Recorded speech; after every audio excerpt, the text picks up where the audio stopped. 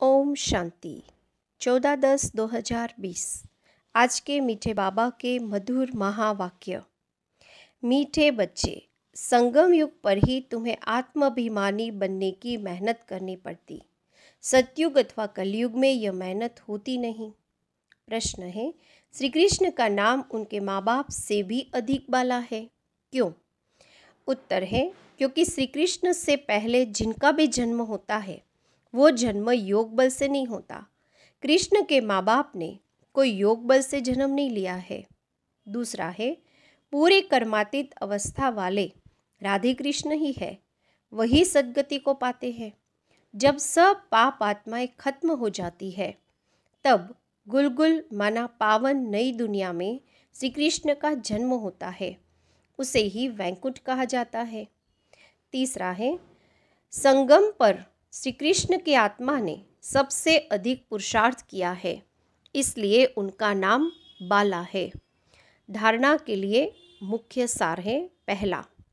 बुद्धि को पवित्र बनाने के लिए याद की यात्रा में मस्त रहना है। कर्म करते भी एक माशुक याद रहे, तब विकर्माजीत बनेंगे। दूसरा है, इस छोटे से युग में मनुष्य से देवता बनने की मेहनत करनी है। अच्छे कर्मों के अनुसार, अच्छे संस्कारों को धारण कर, अच्छे कुल में जाना है।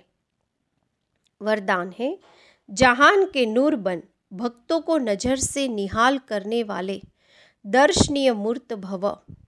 सारा विश्व अब जहान के आँखों की दृष्टि लेने के लिए इंतज़ार में है। जब आप जहान के नूर अपनी संपूर्ण स्टेज तक पहुँचेंगे अर्थात संपूर्णता की आँख खोलेंगे, तब सेकंड में विश्व परिवर्तन होगा।